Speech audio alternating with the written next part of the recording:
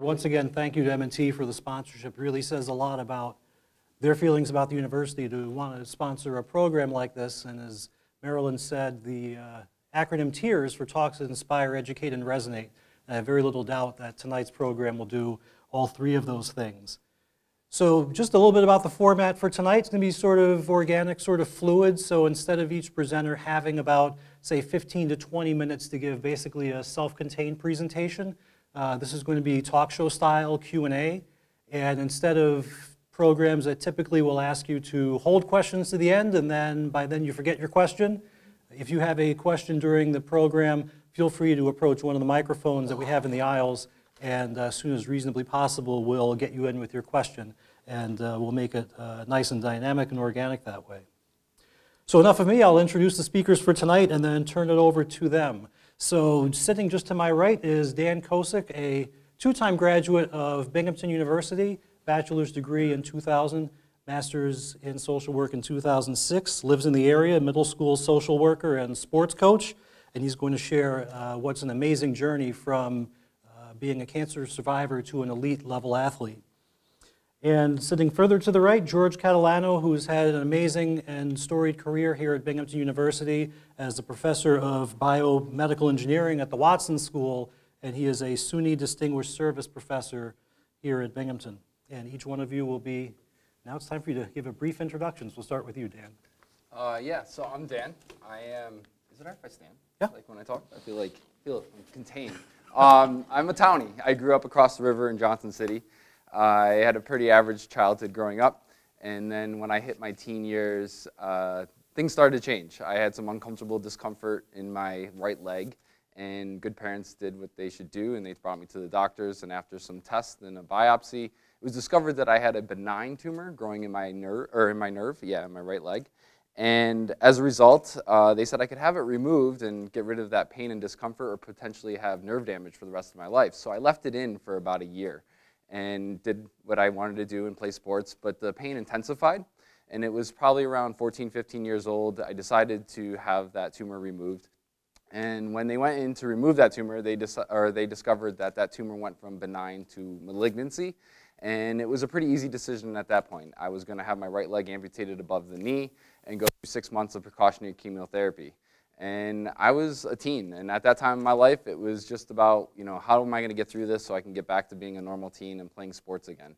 So after I finished my chemo, I uh, got back into sports. I eventually rejoined my high school swim team. I started playing lacrosse again for, my, for Johnson City as a goalie. I found a new passion in alpine ski racing, and dedicated my life to that for a period of time and started my family and eventually fell in love with something called obstacle course racing and climbing and hiking and that sort of brings me to who I am today and why I'm here. Well, I won't stand. Um, hi, my name is George Catalano and I'm delighted to be here. It was really neat to meet Dan and, and to work with Steve. Um, I guess um, it all started for me back in high school in a certain kind of way. I went to high school not too far from here up in Syracuse, Christian Brothers Academy. And their whole mantra there was life is about service. And I took that to heart. I, I really do think that that's true. And so these opportunities to work on some of the projects that we're going to talk about um, and show you, share with you tonight really are all about service. They're all about giving back to the community. It's all about um, maybe listening to the voices that not too often are heard. Um, and so it's, it's a great opportunity for me to share that with you. I've had the, the great opportunity actually to work with some wonderful students, and many of them, as sweet as they are and as busy as they are, they came here tonight to, to maybe share some of their thoughts about these projects as well. So um, I'm delighted to be here. Thank you. So George, we'll start with you. And the students that you're working with are doing some amazing things through their, uh, their capstone projects. Tell us about that uh, and their engagements within this community. Sure. Um, in engineering, um, I think in all departments now, they have to do a capstone design project. And I've headed up the biomedical engineering capstone design course for, gosh, 10 or so years now. And um, what it's all about is actually meant to be a bridge from being a student to being a professional in the real world. And that sounds easy, at least to me, but from their perspective, it's very challenging. But they, they really um, welcome the chance to do projects for real clients, to meet real needs, and to, to, to feel that they've really made a difference in the world. And I see a whole row of them here tonight, so should we ask them to come? Absolutely. Nikki, do you want to start?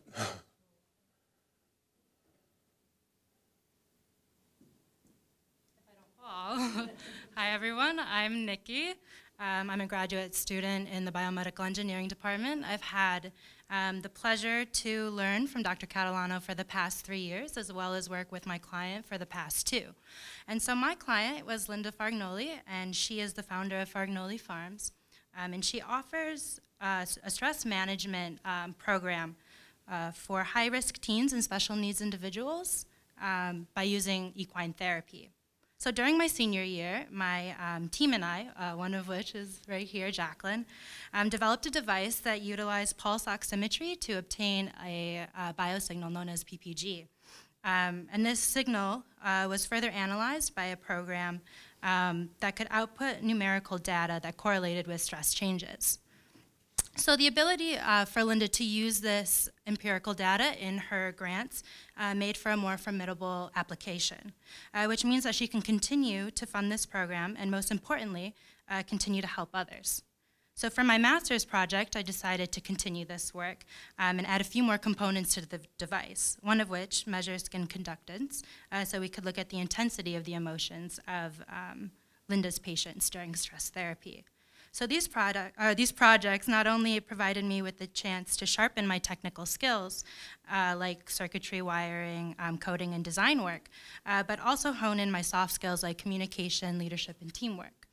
So my time with Dr. Catalano and Linda has shown me how important it is uh, to listen to your clients' needs, follow through with the promises that you make, um, and to always remain involved in your community. Thank you.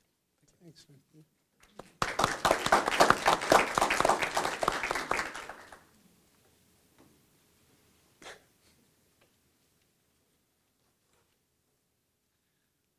Good afternoon, everyone.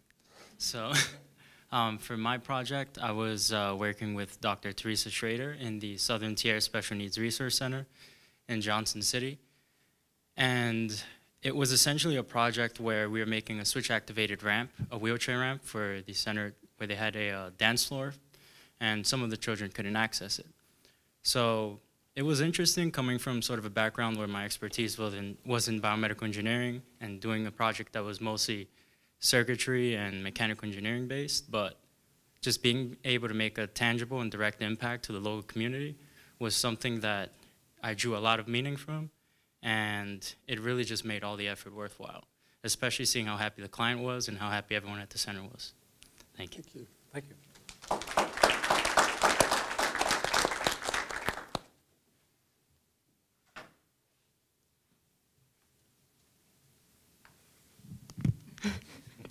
Hi, everyone. My name is Miranda, and I graduated my um, bachelor, bachelor's in biomedical engineering last year, and I had such a great experience, I decided to stay for uh, the master's 4 plus 1 program.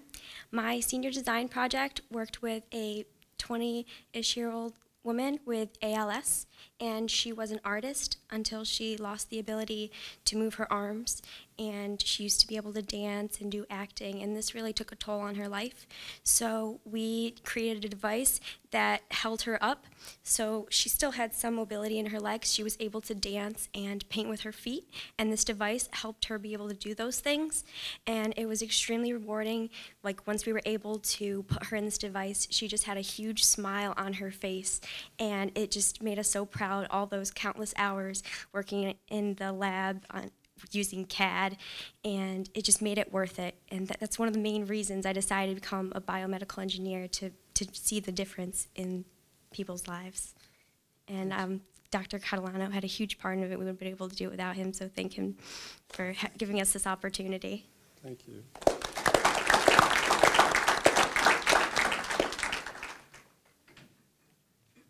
So shy, Kayleen is going to talk. Hi, my name is Caitlin, and I'm also a master's student here in biomedical engineering. So when Dr. Catalano had uh, was presenting our projects, he had people from the community come in and present what their needs were for all different aspects of their life, be it uh, the equestrian therapy or um, uh, technical objects that needed to be implemented in certain um, aspects. Anyway, uh, for my project, he, uh, Suzanne Georgian was uh, came into our class and presented to us a village in El Salvador uh, called El Charcon that was having major problems with their um, trash accumulation. And because the village was right before the river, um, the residents of the village were seeing all the trash being washed downstream into the ocean and affecting the wildlife there. And they wanted to do something about it. So El Charcon happens to be Binghamton's sister city in El Salvador. So she came to us and asked if anyone had any ideas on how that we could help this village uh, deal with the trash problem. So my team, along with Ben over here, uh, decided that we wanted to take this project on because we wanted to help the community. And we built a heated press recycling system that could um, repurpose their used plastic bags and light trash into things such as clipboards and notebook covers for the community. And honestly, working with El, uh, Suzanne and uh, the village of El Charcon corresponding back and forth has been such an eye-opening experience on the good that engineering can do. It's not all just make money and get a job. It can really make a difference in people's lives. So I really thank you for the opportunity and bringing in all the wonderful individuals from this community.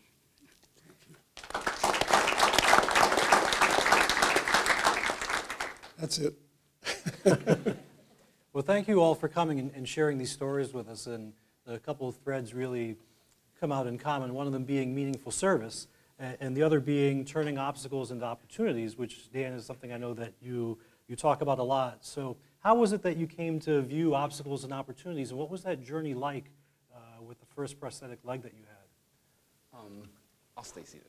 Well, uh, so at 15, I, my first prosthetic leg seemed like this cool piece of equipment. And I realized that if I could figure out how to master this piece of equipment, I could probably do what I wanted to do, and like play sports. So uh, that's where my focus was, and that was my mentality. And, and as a kid, that's sort of how you think is day to day.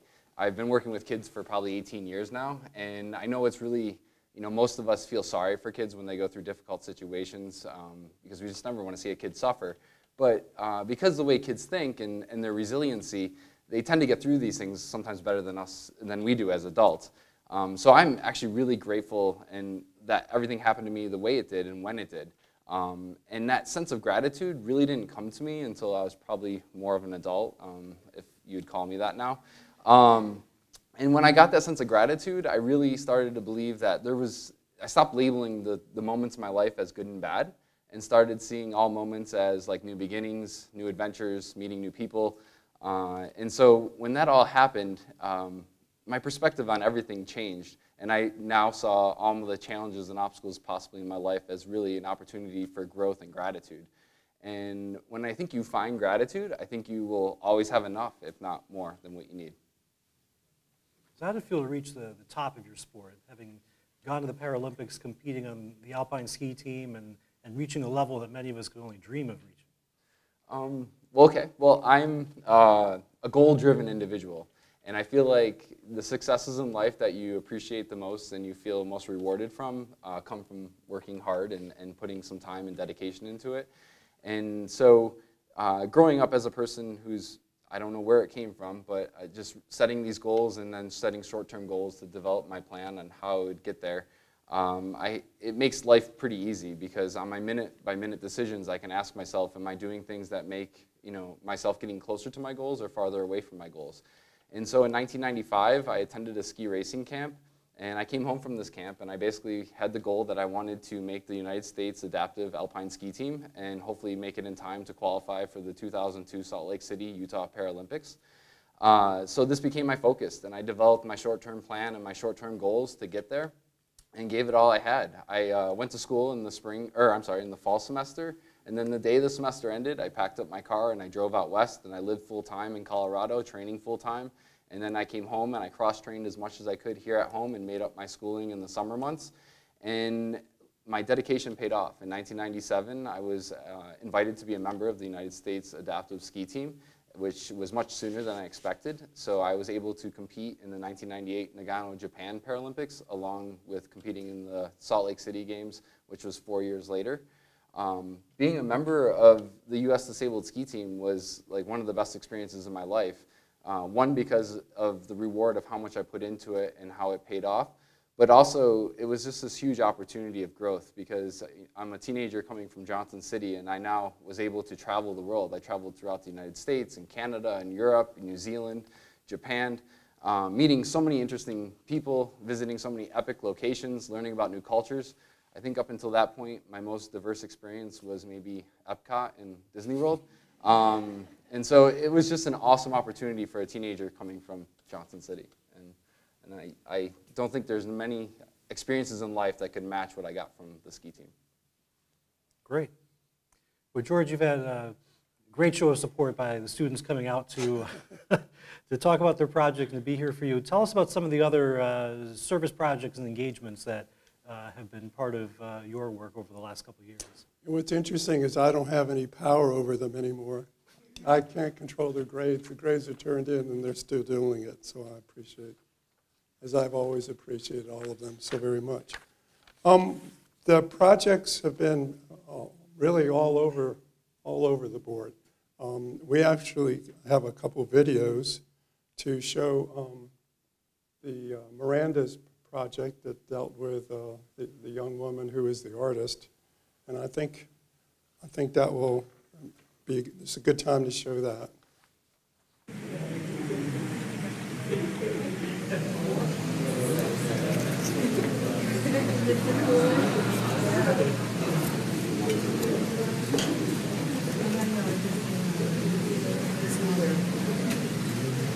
actually, these students brought the project to me. I didn't come up with this project. They said, we have a neighbor who would, would really like to be able to continue painting, maybe dance. And so they, they um, designed this.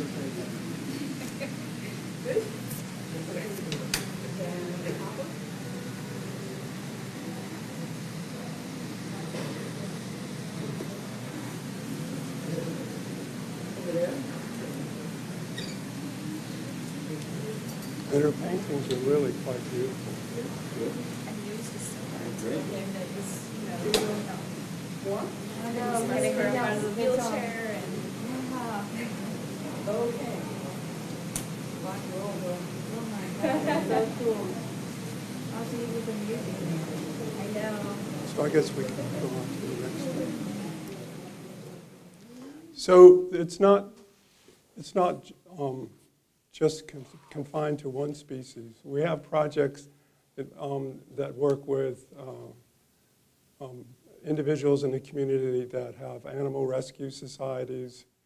Um, they have um, the horse farm, uh, Linda Fargnoli's horse farm is not only um, for autistic children and disabled children, but it also is a place where horses go.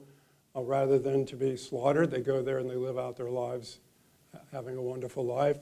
Um, the other person that I work with is Willow, Willow Sullivan. She has Willow's wings, and that's an animal sanctuary. And her thing is that no matter how sick or how old the animal is, if that animal deserves a life, that animal deserves love, just like I think we all aspire to have. So we have a couple videos now, one for, excuse me, Willow, one for Linda.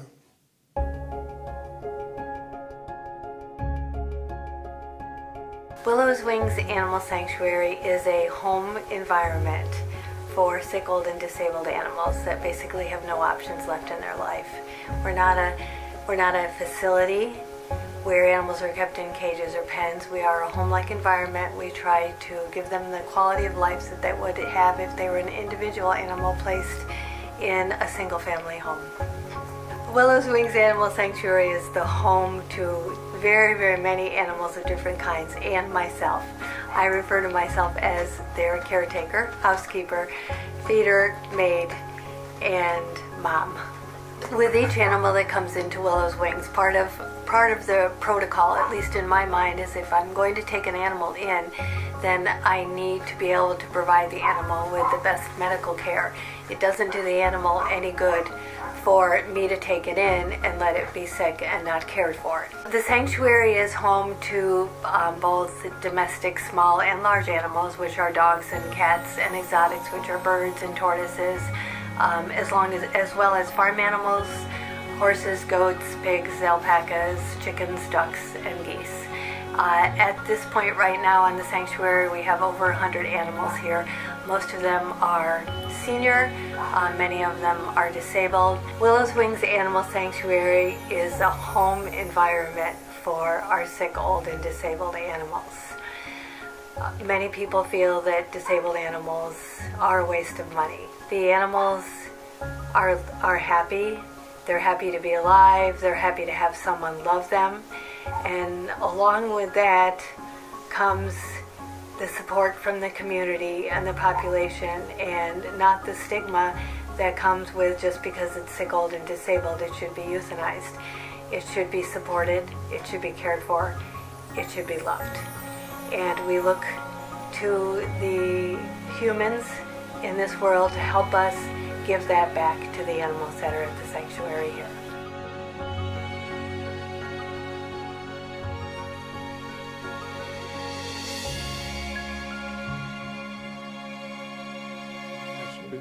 Dealing with helping. Willow's about 80 pounds when she's really wet. She's a very small person, so she has to lift these heavy animals into a car to take them to the vet, and she does that all the time. Um, she's, she's truly a remarkable person. So one of the projects deals with um, that transport issue. We've had others deal with some of the wheelchair issues, and um, it's just been an honor, as it is an honor to work with these students. It's been an honor to work with Willow.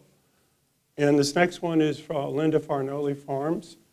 Um, she does a lot of work um, with uh, special needs children. She focuses on autistic children, aut- highly, um, sometimes highly functioning, sometimes not so highly functioning children. And she has these old horses, and old horses and uh, needy children, they make a great combination. This is Callie, and she would like to welcome you to Callie's Clubhouse.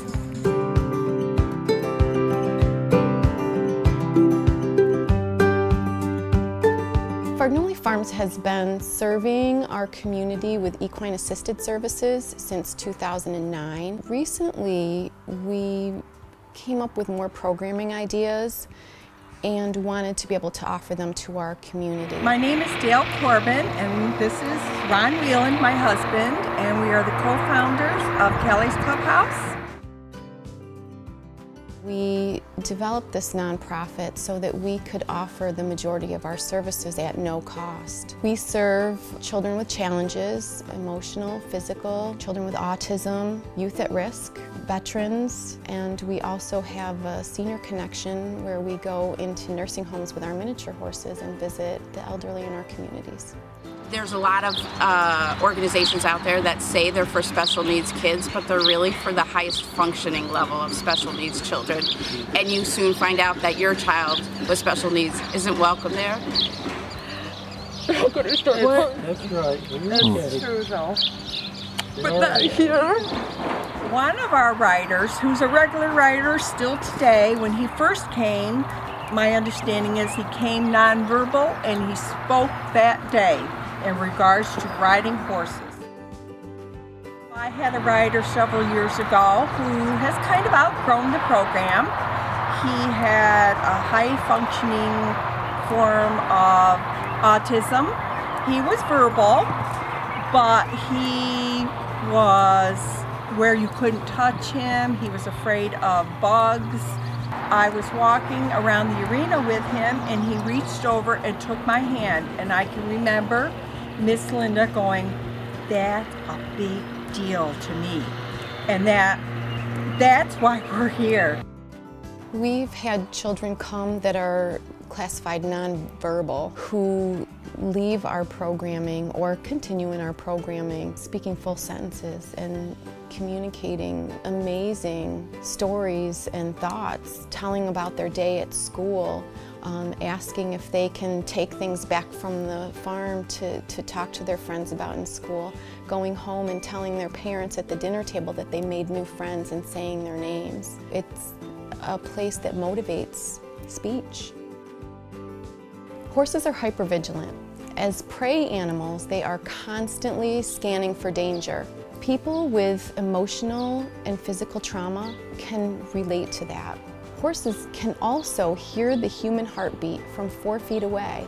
Studies show us that they can regulate their heartbeats to match the human heartbeat. It's wonderful to be on the back of a horse, but it is magical to walk next to a horse and be accepted, to know that they have chosen to be with you. So as it is an honor to work with uh, Willow, it's an honor to work with uh, Linda. Um, they've dedicated their lives to try to make a difference in the community. Um, they have these special, unique skills, and they, they give them freely to all that need them. So we're about halfway through the program. I thought I'd offer it up if anyone, does anyone have a question they'd like to ask? Either come to the mic or just shout it from where you are. We'll move on to the next thing, and then certainly, as I said before, if you have a question, come up at any time that you would like. So Dan, you talked about some of your uh, earlier competitions in skiing, and your days of competing are still going on. So tell us uh, what you're up to and, and, and, how you got into uh, obstacle course racing. Okay, so um, I retired from the ski team in 2002.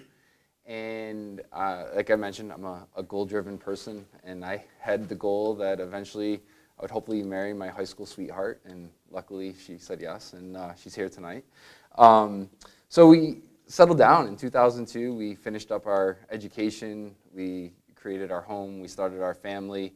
Um, and things were going well. I was staying uh, very connected to athletics, though. I was living a healthy and active lifestyle, coaching uh, able-bodied ski racers. I call them ten-toed freaks up at Greek Peak. And I was uh, coaching boys lacrosse. And uh, like I said, just living the, the grown-up life. And then in 2012, I had a friend come up to me and ask me if I wanted to do an event called Tough Mudder. And, and I had no idea what this was, so I did a Google search on it and come to find out Tough Mudder is a 10-mile obstacle course race through intense mud, over, through, under obstacles. Um, some of the obstacles require you to jump off 30-foot platforms into muddy pools of water, uh, monkey bars on steroids, jumping over fire pits. Uh, most interestingly, you get electrocuted uh, and sometimes on some of these obstacles. And I thought this was really crazy, but um, he planted a seed, and I went back and I had a conversation with my prosthetist, the, the man who makes my legs.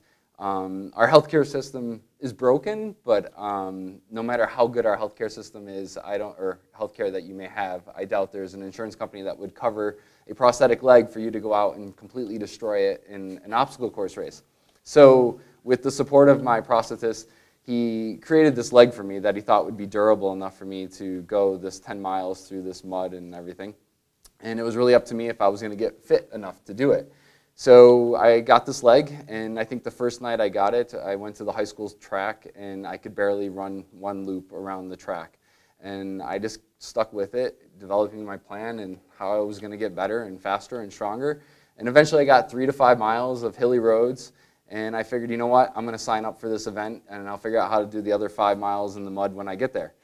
So I, in 2013, uh, just, out of Saint, just outside of St. Louis, I did my first Tough Mudder event. Um, it wasn't pretty. It was uh, pretty brutal. I struggled for the last few miles with some significant prosthetic issues. I was beat up, I was sore, uh, not to mention I really couldn't see for about two days after the event because I had so much mud in my eyes that my corneas got scratched.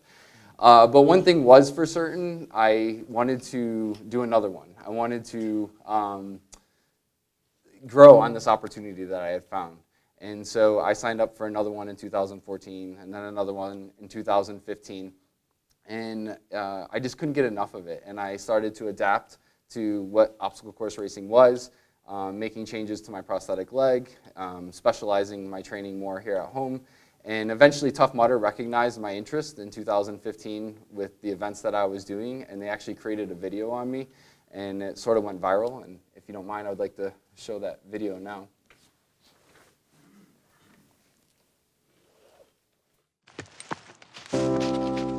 Tough Mudder is just one of those things that it's hard not to fall in love with.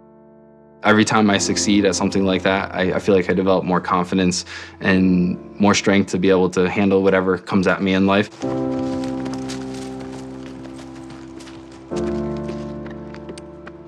My name's Dan Kosick. I'm 37 years old. Uh, I lost my leg at the age of 15 due to cancer. At 15, the biggest struggle that came to me was this extra self-conscious feeling. I remember many times slipping and falling or tripping and it's like, oh my God, all these eyes around me. I struggled with friends. I struggled, you know, with bullying and when I would go out in public, I would put my leg against the wall so that it was more hidden.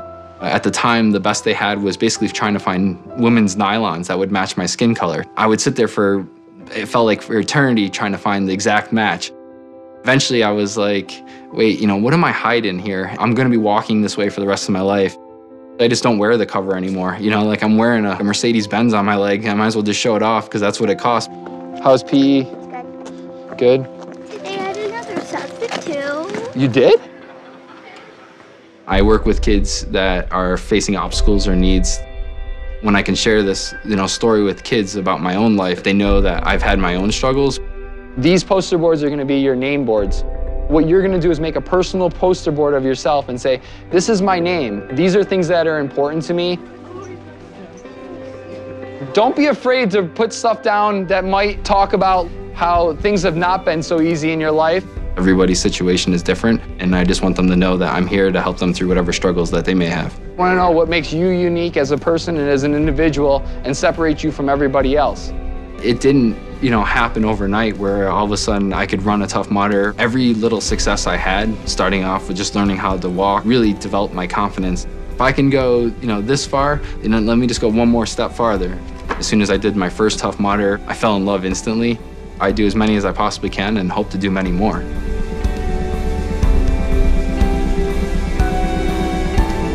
I am Dan Kosick, and I am a Tough Mudder.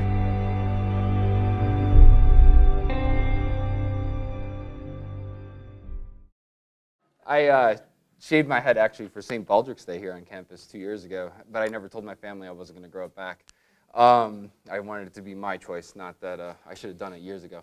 So anyways, uh, this was 2015, and that year, uh, I don't know if you want to call it like a midlife crisis or what at 37, but um, my motivation and my desire to do more, just I couldn't you know, get enough. So in 2016, I ended up signing up for multiple events and just doing as much as I possibly could. And Tough Mudder invited me to do some obstacle course testing, and uh, it was like the best day of my life. Like I, I got to go play on this adult playground all day. I mean, my calluses were falling off. I mean, it was painful, but it was so much fun. So I was at this event, and this guy comes up to me and he says, uh, "We're going to see you at Worlds." And I said, "Well, what's Worlds?" And he and he explains that World's Toughest Mudder is a 24-hour obstacle course race in the middle of an extreme environment.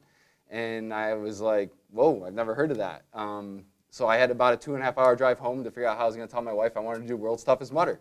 Um, so she, he planted this seed, and I came up with a plan. Um, I, was, I was really nervous because going from 10 miles to trying to figure out how I was going to run as far as I could um, through some extreme environments for 24 hours straight was something I was not prepared for. And this was September, and Worlds was in November. So I figured the safe thing to do was I joined a relay team. Uh, there was eight of us on the team. I was the only adaptive athlete. The majority of the team were veterans. Uh, we all represented an organization called Team Rubicon, which provides uh, natural disaster relief around the world. And the whole plan at Worlds, which is World's Toughest Mudder, is a five mile loop with 20 plus obstacles per loop. And you run as many loops as you possibly can in that 24 hour period. So our eight person team was, the goal was four people was going to be on the course at all times, and we were going to rotate four on, four off, four on, four off. Um, halfway through the event, several of our teammates started to fall out due to fatigue and injury. I was feeling good, so I um, was able to do a little bit more than some of the other teammates on, on, in the group. Uh, our team completed 55 miles total. I did 35 of the 55 miles, and on my plane ride home from Las Vegas, because it was in the desert, um, I was thinking on how I was going to tell my wife that I wanted to do World's Toughest Mudder in 2017, but as an individual, and see what I could do.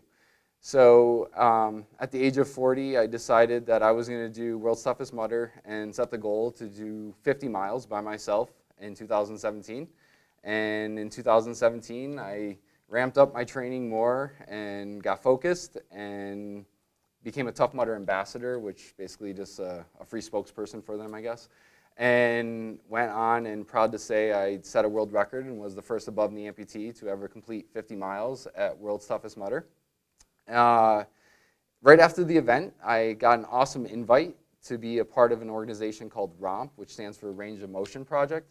And ROMP is about bringing awareness and funds to the 80% of amputees in the world that do not access or cannot access uh, appropriate prosthetic care. Um, and once you step out of the United States, it jumps up to like 90% of the world's population of amputees that cannot access, access um, appropriate prosthetics. So what I was invited to do was I was a group of amputee and non-amputee athletes to climb a 19,347 foot active volcano in Ecuador. And the goal was to show the world that you're not disabled by an amputation, but by the lack of a prosthetic device. So in 2018, my focus became more climbing and hiking and still doing obstacle course racing in between. Um, I basically Google searched what are the toughest hikes I can do in the Northeast to, for training. So you know, one weekend I went out and did Devil's Path, which took me 18 hours, and then the next weekend I did, or next month I did uh, Presidential Traverse, which took me like 16 hours, and then the Great Range. Um, these were all my training activities prior to going to Ecuador.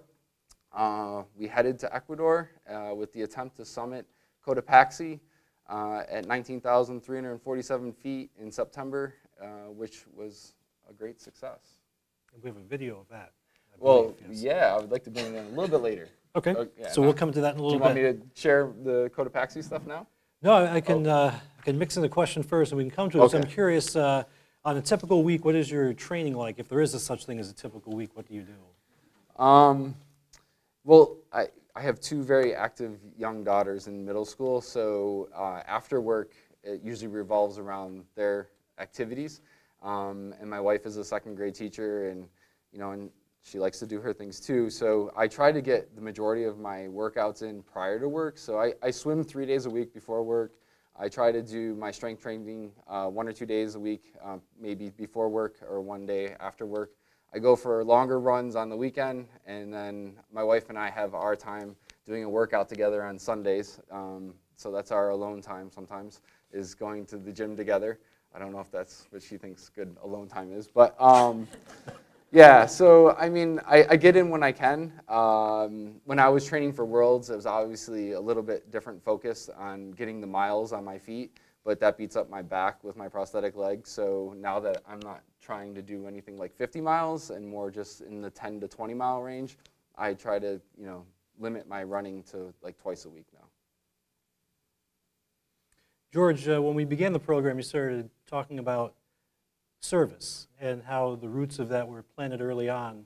And now at this stage of your career and, and uh, going to be retiring in the near future, how do you feel about service just as you reflect on the, uh, what you and the students have been able to accomplish? And we've seen so many of these different community engagements and so many people being helped along the way. Um, it's a great question. I think it's the most uh, rewarding thing that I've done as a professor.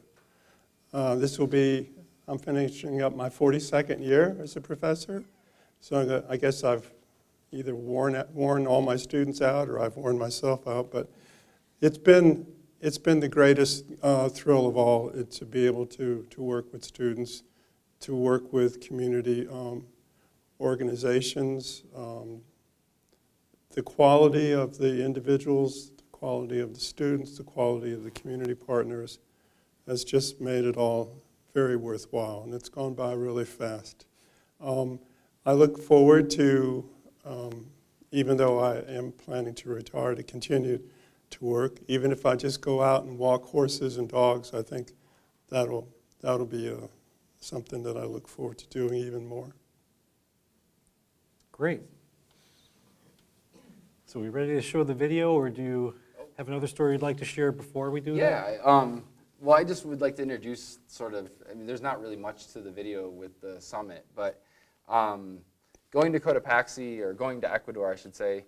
Um, there was a total of 24 of us. Uh, some were professional guides. Uh, 19 were no, I'm sorry, 11 were amputees, and 19 were able-bodied athletes that came from the states or, or came over. Um, wait, that didn't make sense. There was uh, 19 total of us, 11 of us were amputees, and then there was a, a handful of professional guides. And what happened is we got over there, and it, it's one thing you just can't like get off the plane and go try to hike 20,000 feet. So you have to acclimate. So we did two training hikes prior to our climb on Cotopaxi, which both uh, hikes brought us up to 16,500 feet. If you're familiar with mountains, there's uh, the highest mountain in our continental U.S. is in California at 14,500 feet roughly. Um, so you really can't get that kind of height in our own country. Um, but down there, it's all over. It's awesome. The, Andes provide great, beautiful terrain to go have fun on.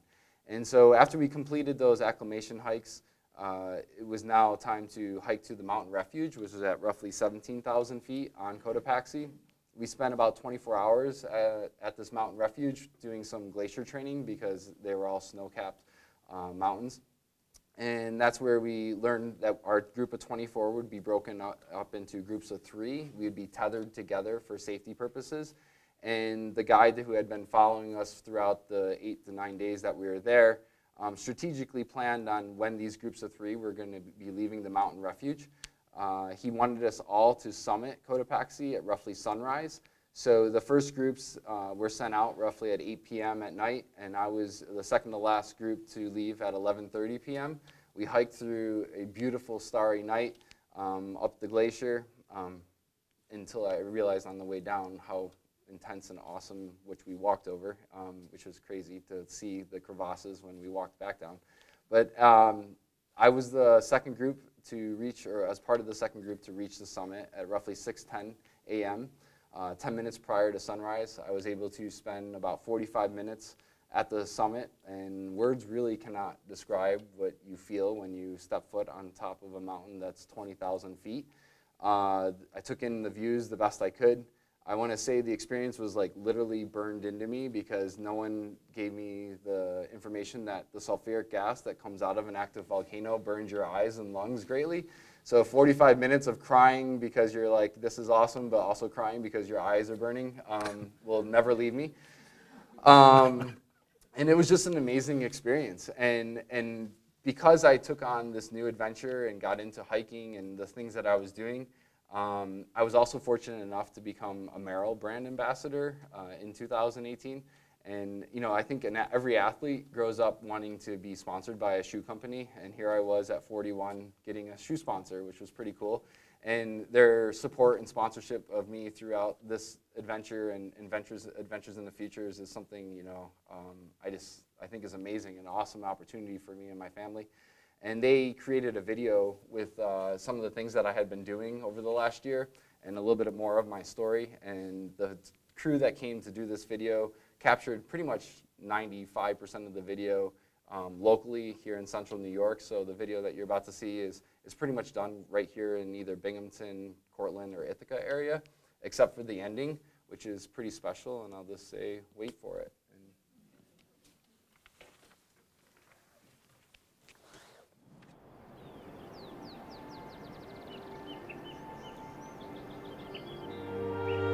Remember the doctor's intern coming to the room where I was with my family and basically saying it's time to go in for surgery and unlocking the wheels on the gurney or whatever and, the, and then starting to wheel me away from my family.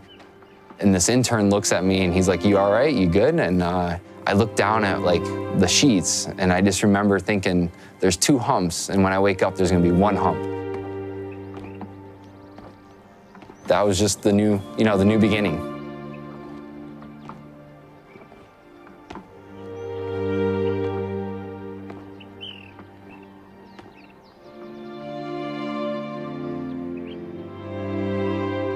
For me, being an above knee amputee and not having a knee, or obviously everything below that knee on my right leg or on my right side, um, is going to make me rely completely on my left leg. So every foot I go up is a step on my left leg, and every foot I go down from something is a step down on my left leg. And uh, that's a lot to rely on. You know, you really hope that everything's going to hold up.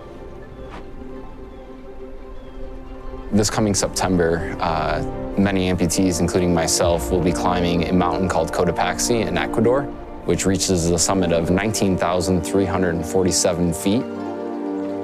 We want to show the world that you're not disabled by an amputation, but by the lack of a prosthetic service. And so if you have proper prosthetics, you can do just about anything you want.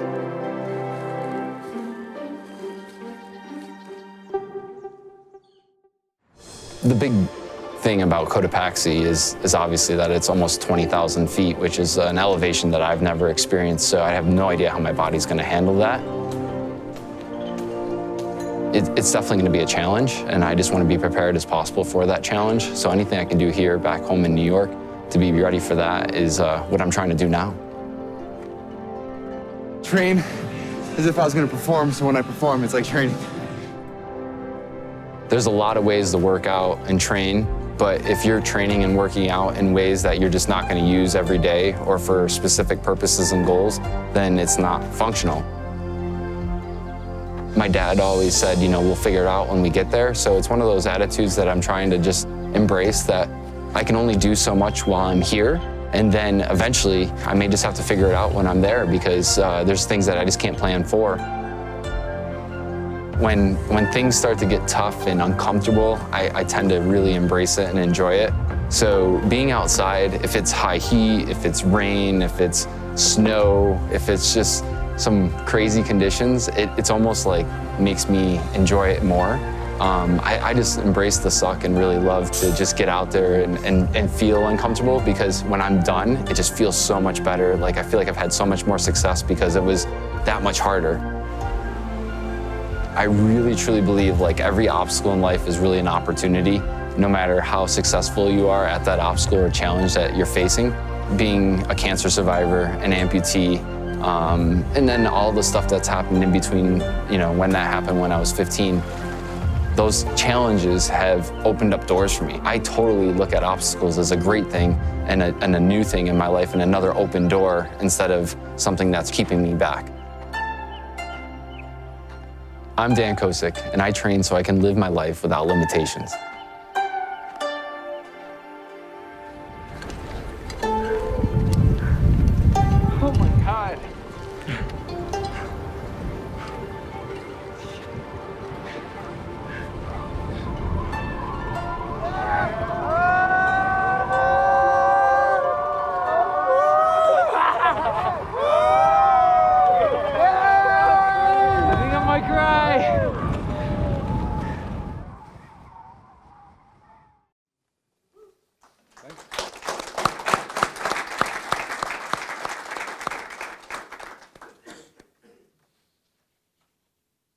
Get close to the, uh, the end of the formal program, I think about one of the images that was very front and center as part of the marketing for this event, and it's of a woman named Sue uh, with an artificial hand. And so I feel like I wouldn't want to get through the program without uh, that story being told, if you wouldn't mind sharing uh, about that capstone project. Sure. Sue is, uh, she works in, uh, for Sodexo in one of the cafeteria, cafeterias. I don't know if they're still called that.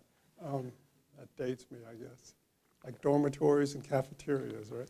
But um, she's a wonderful, wonderful person, and she's, um, she's one of the friendliest people that you would ever want to meet.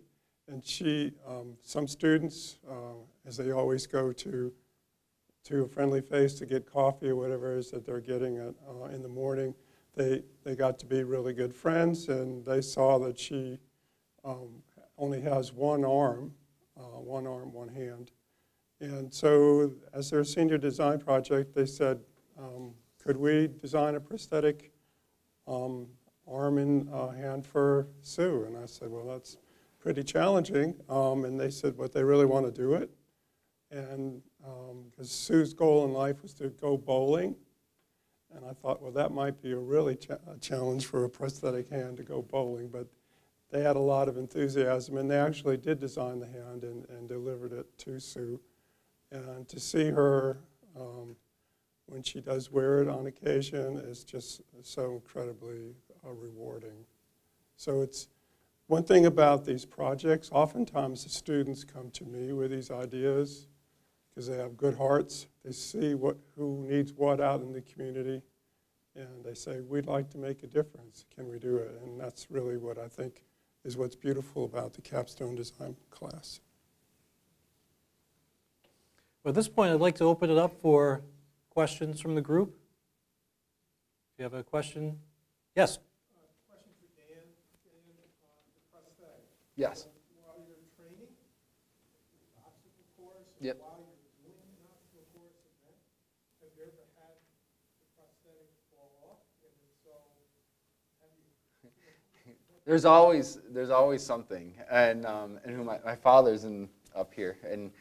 he always says you got to figure it out when when it happens, you know, when it because you can't plan for everything. Um, I can actually I have my leg that I wear for these events back here. I can grab it, but so yeah, so there's there's lots of things. Like uh, for example, this rubber basically tire tread on the bottom has come off before in an event, and this is just carbon, and you cannot step on carbon. Um, if you stepped on a rock or something, it would just shatter. So, I mean, things like that, like you'd think, oh, I just need some epoxy to fix it, and it wouldn't be that big of a deal. But when you're stuck in knee-deep mud and you have miles to go before you can fix it, you got to improvise and come up with a plan. And so it was like somebody around me, a bunch of people around me, shared some socks. We put as many socks over as possible, duct taped it as many times as we could to try to hold it, and then tiptoe for a couple miles until it was done. Um, I wear this thin belt when I run and stuff because obviously with sweat and activity, it, it starts to loosen up and it, and it keeps it from literally falling off. I learned my lesson. I was mountain biking once and I didn't have the belt on and I was going down the hill and just shaking and I could feel it like coming off. And I got to the bottom and I was in clip pedals and as soon as I stopped my leg went and just fell onto the ground but still stuck to the pedal. And and I was like I think I got to wear a belt now. And uh, so I started wearing a belt. But yeah those kinds of issues pop up and they do and, and I learn from them and so the next time I'll be like well if I want that don't want that to happen again this is what I got to do or improvise and maybe carry a little backpack with some tools and all that kind of stuff too.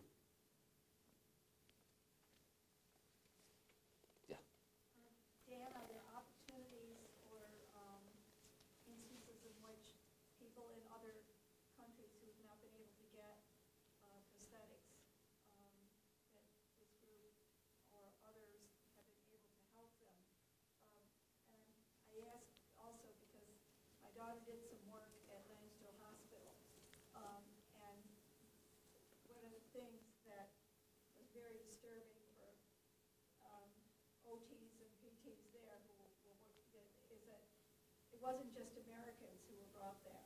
Mhm. There were people who were being uh, very badly injured in war zones uh, that were allies um, and would come from, and from Afghanistan or the Middle East um, and um, had to recover from an amputation, and they knew they were going back to a country that would not be able to provide them with physical therapy and occupational therapy and the equipment.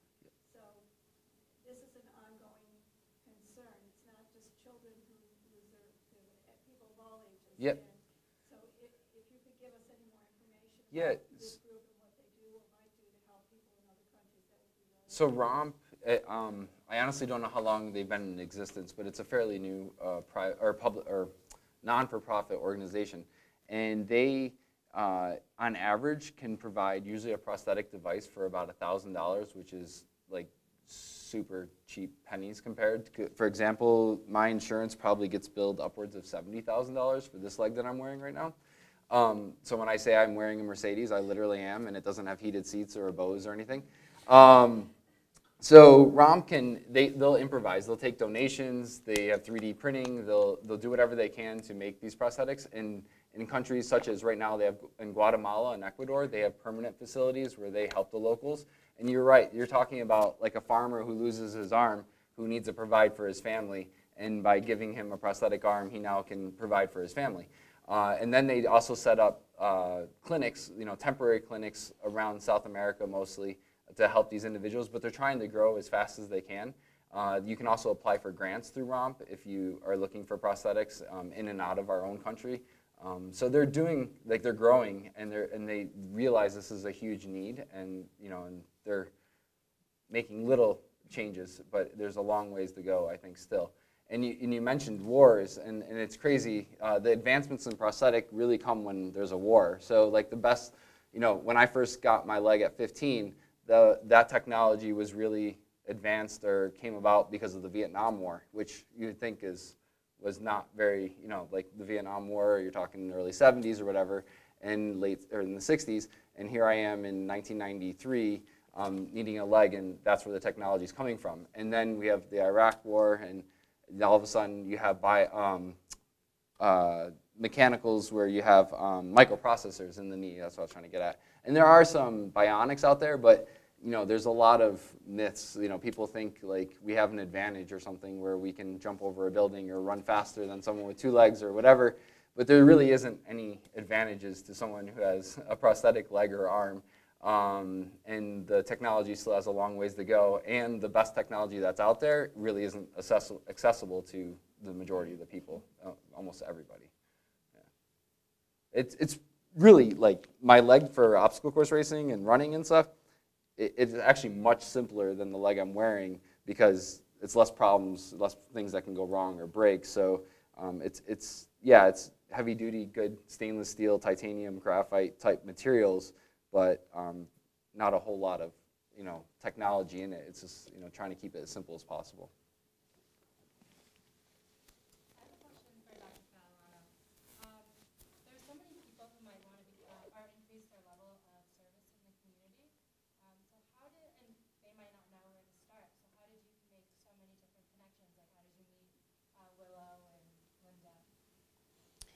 Um, good question, Nikki. Um, I think for Willow, for, for example, um, I did I did a few projects with STIC. There, Sue is here from STIC somewhere. There's yeah, and um, that was a few years ago. And one of the the uh, um, caseworkers for STIC actually said, "I need to take you out to uh, Willow's Wings because um, you'll be totally." Um, captivated by that. So it was primarily just through word of mouth. Um, and I, I, think, I think there would be many more projects that students and faculty may get involved in if they only knew about it. But it, it's, it's pretty hard, I think, to actually identify it. And from Willow, then I found out about Linda, but it, it, it was pretty much word of mouth.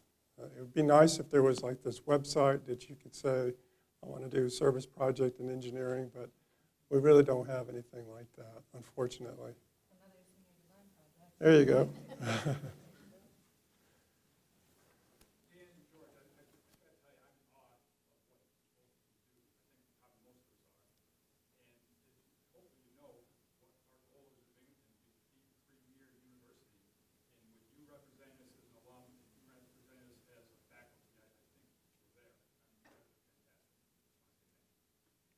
thank, thank you.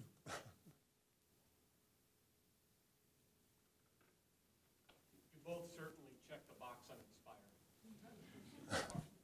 awesome. And particularly, I'm, I'm struck by you never describe yourself as a victim, which I find amazing.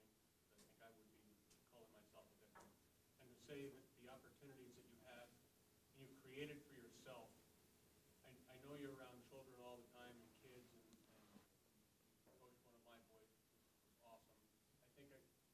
think I knew you for four or five weeks before I realized you were an amputee. Also was amazing. Can you share with us what you tell kids on how they create opportunities for themselves, perhaps out of adversity, or, or maybe just you know able-bodied kids, because that's I suspect you're around a whole lot more able-bodied kids than than those that have to overcome major challenges or obstacles. How do, how other kids create the opportunities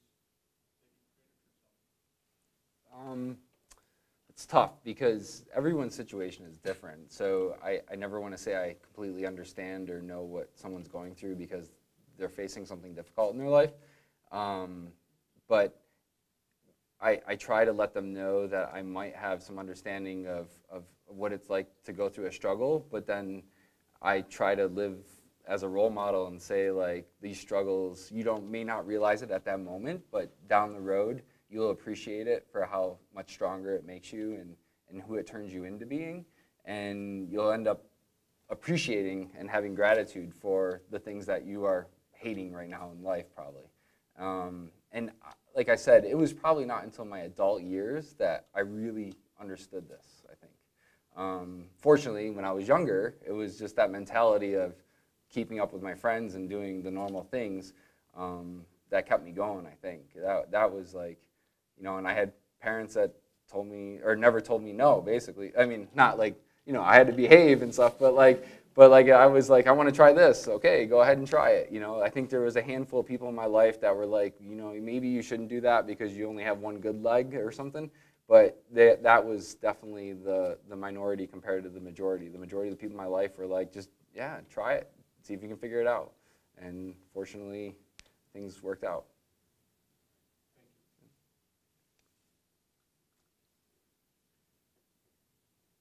There any other questions? Our presenters will be here. Oh, yes, one more, sorry. Um, well, uh, there's there's obviously prosthetic providers everywhere, and um, I I know some of the providers locally, and I had my very first leg made locally, and at that time there really wasn't any therapist locally that could teach me how to run and do like play lacrosse and stuff, and so I met an amputee therapist who was interested in learning how to teach this to people that she worked with. So we ended up driving down to New York City to meet with a physical therapist regularly so I could learn how to run at that time. And then she would come back and sort of, you know, rehearse and do the things that we were working on down there back here. And eventually when I was going down there so much, there was a prosthetist that would show up often and make adjustments to the legs that the therapist was working, you know, to the people that he was working with. And he started to make some minor adjustments to my legs and eventually it was like, you know, I feel weird like going back and they're like, wait, who did this to your leg and whatever. So I decided, you know, after that point I would go down there and start getting my legs made. And it's one of those things that you just really become comfortable with. And I've been with the same guy now for 26 years. And it's not, I, am sure I could find someone closer um, that could maybe do just as good of a job. But, you know, when you find that relationship and how much they've supported me through the years, I, you know, I feel like we have this mutual thing going and, and that, you know, I just can't leave. So I go to Long Island, actually. That's where my legs are made. Our presenters will be here until 7.30, so please do stay around if you didn't have a chance to say hello, and if you have a question to ask, uh, feel free to stick around. Once again, thank you very much for coming to Tier Talks tonight.